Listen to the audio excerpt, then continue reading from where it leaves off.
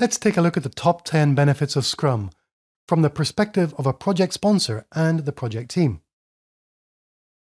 When you're using the Scrum framework, your development team and your users are frequently inspecting and adapting your software.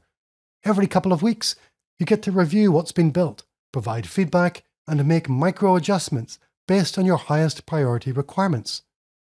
Using Scrum, we elaborate requirements just in time to start development. As your users become more familiar with your Microsoft Business Application software, they can better express their requirements based on the software that's already been developed.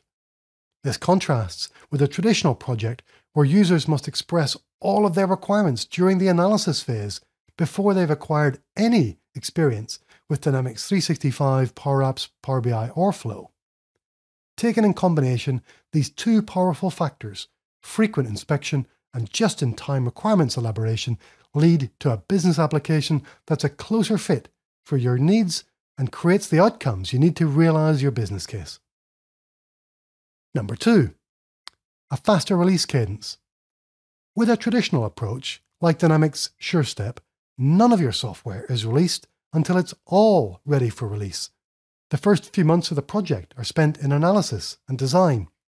Instead of any working software, all you've got to show for your investment is a lot of documentation, none of which is based on experience of building software together. With Scrum, your team is analysing, designing, developing, testing, and, if you want, releasing software into production every couple of weeks. You can be in production in months, either with an early prototype or with a small set of finished features. In every iteration, you're developing an increment of working software that could be released into production as soon as you're ready for it. Number three, a higher return on investment. Taking those two benefits together, the better software that supports your business case outcomes and a faster release cadence, lights a rocket under your return on investment. Scrum projects are usually completed with 30 to 40% less budget than sequential projects because you won't spend any time analyzing and designing features that never make it into the final version. That means the total investment is much lower. The software is a better fit for your business case outcomes, which means that the returns are higher too. And releasing it into production within a few months results in real benefits being realized before you would have even completed the design phase of a traditional project. Number four, greater user satisfaction. Scrum teams have far more interaction with end users than traditional project teams. Often, Scrum development teams are co located at the same site, but at the very least, we're demonstrating our progress and receiving feedback every couple of weeks. The Scrum team's priorities are managed by the customer's product owner. The product owner represents the users and arranges the requirements according to business value. This is a transparent product backlog that any stakeholder can review. Everyone knows what's coming next and where their requests are in that backlog. Scrum teams build better software, have more interactions with users, and are more open and transparent during the development process. This generates higher user satisfaction with their Microsoft business application and with the team who's building it.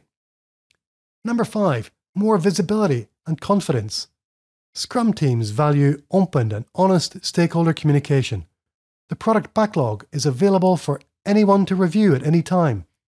Stakeholders can review progress frequently at sprint reviews to check in on what's been completed recently and to suggest what to work on next.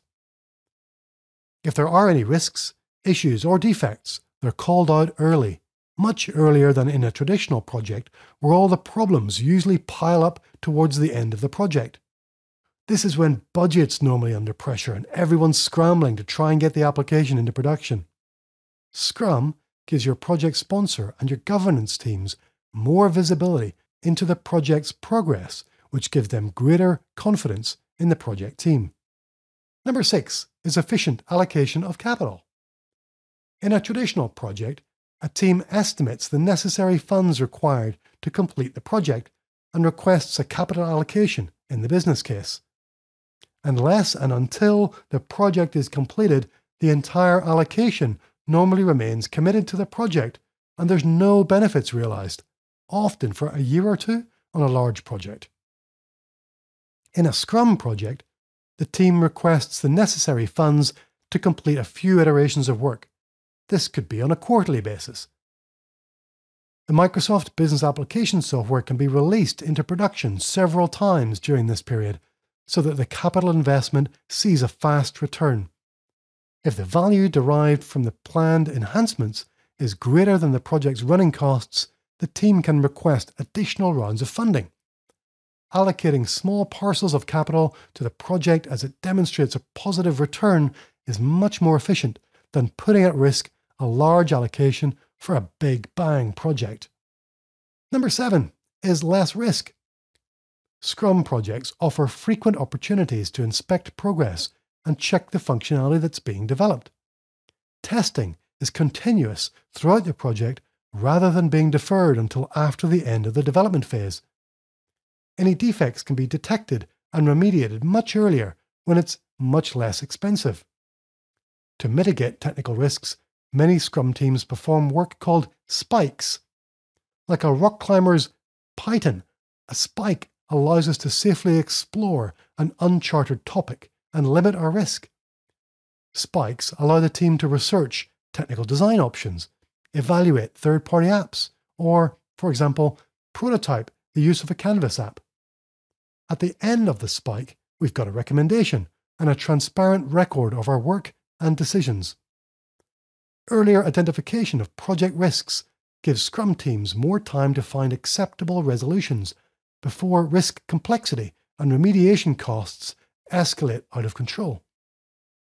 Speaking of control, number eight is more control.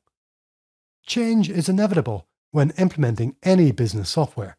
Customer requirements, government regulations, competitive threats, organizational priorities can all change during a typical enterprise project that might run for a year or two.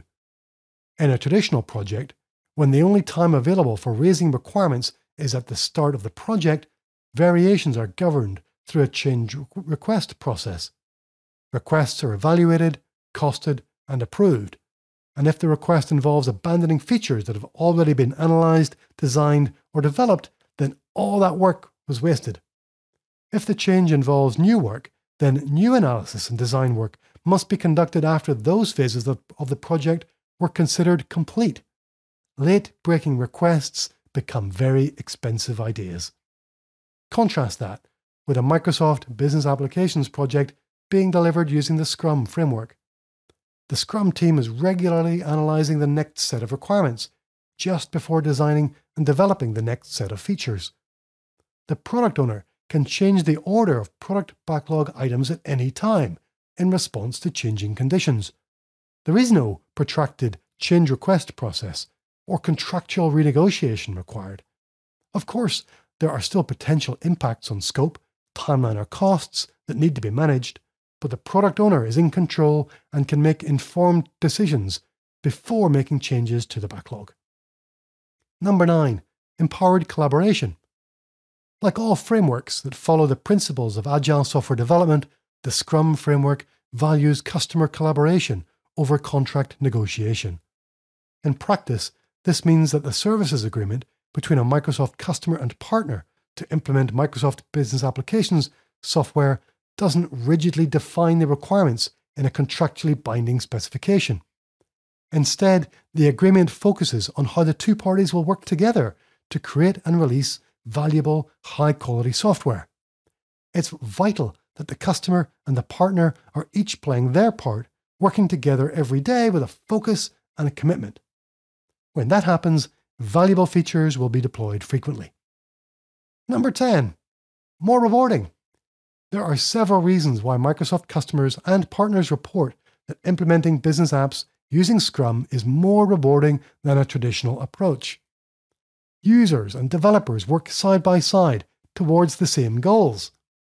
They forge close working relationships that foster mutual respect and understanding. Users learn about the application as it's being built. This helps them express better requirements. Developers learn about the user's environment, business processes, and needs, which leads to better designs and features. Scrum encourages a sustainable pace. This means consistently delivering high quality, production ready features every few weeks.